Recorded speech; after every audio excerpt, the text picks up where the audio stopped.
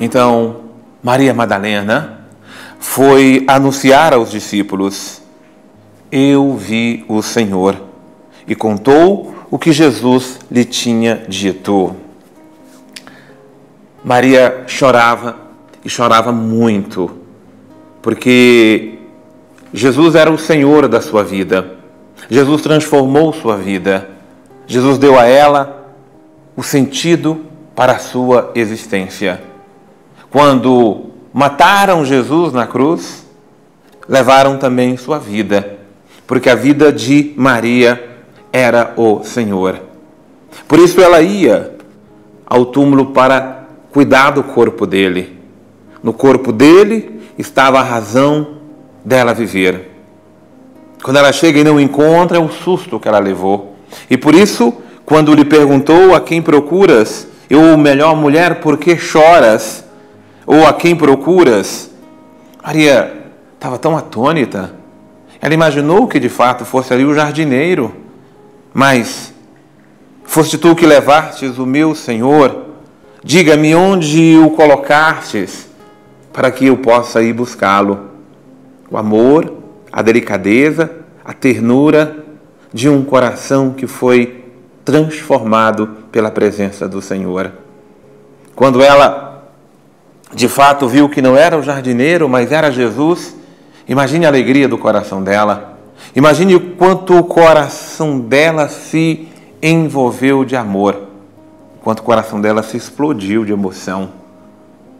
Quando Jesus disse: Não me retenhas, porque a hora de eu subir não chegou, Maria, mas é preciso ir anunciar, é preciso dizer para os outros de que eu estou vivo, é preciso anunciar aos corações que se dirijam à Galileia para que eles também experimentem o ressuscitado.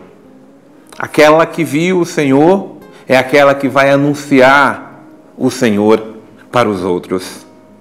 Meus irmãos e minhas irmãs, nós precisamos ver o Senhor.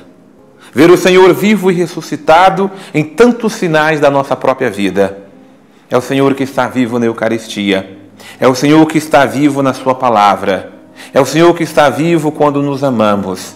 É o Senhor que está vivo no nosso processo de conversão e de transformação. É o Senhor que está vivo com todas as famílias que são restauradas pelo seu amor, pelos jovens que são deixam os vícios, os males deste mundo para seguir o Senhor. Em cada situação, nós experimentamos a presença do ressuscitado no meio de nós. Então, não basta contemplá-lo, não basta ver o Senhor agindo, é preciso anunciar, é preciso proclamar aquilo que nós estamos vendo e testemunhando. O mundo precisa saber que Jesus está vivo. Com todas as provas e evidências de vidas transformadas, de experiências maravilhosas que nós fazemos de Jesus, nós precisamos proclamar em alto e bom tom que Ele está vivo, porque as pessoas estão morrendo, porque o mundo está matando as pessoas e as pessoas estão perdendo a esperança de viver, o sentido de viver, e nós não podemos deixar.